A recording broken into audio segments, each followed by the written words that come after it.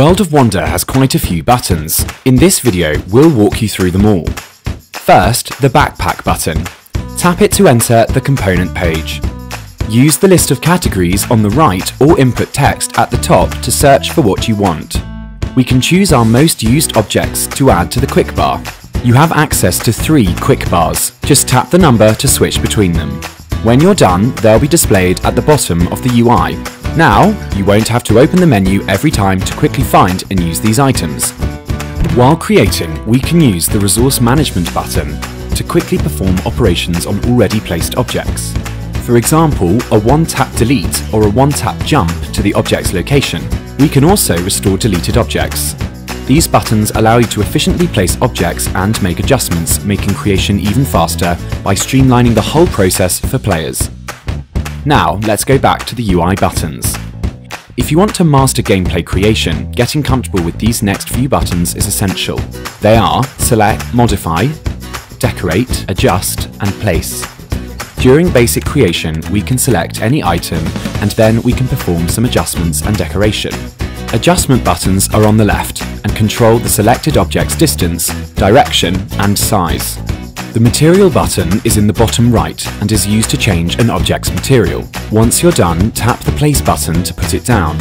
After placing an object, there's more that we can do with it, including copy, delete and modify. Gameplay devices are a little special. After placing one, the parameters button will appear.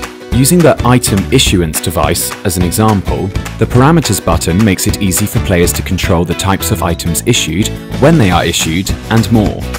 Mastering these placement operations allows for complete control over various aspects of all objects, giving players the power to create freely and with precision. Next, let's look at some buttons that can increase our efficiency. In the bottom left corner of the screen are the screenshot and object placement and parameter buttons.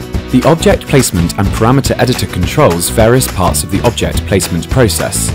For example, we can set the maximum and minimum size of objects, adjust the number of degrees that a structure will rotate in a single instance, modify the flying speed in free editing mode, and more. This makes it easier for players to control the precise details of their creations. The screenshot button on the left allows us to take a screenshot of the current view and enter the image editor. While saving an image, we can also choose to set it as the cover for our creation. An exciting cover image will naturally draw more players to your creation. To the right, we have the fly button.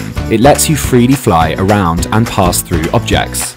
Last but not least, we'll touch on some buttons that have to do with the creation's overall settings.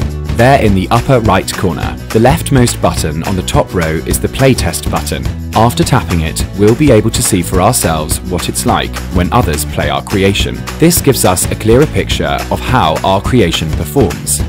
To the right is the Save button. The Save button quickly saves the creation to your device, but keep in mind that it has a cooldown period. After you save, you can't save again for 60 seconds. Saving appropriately makes it easier for players to find and use your creation.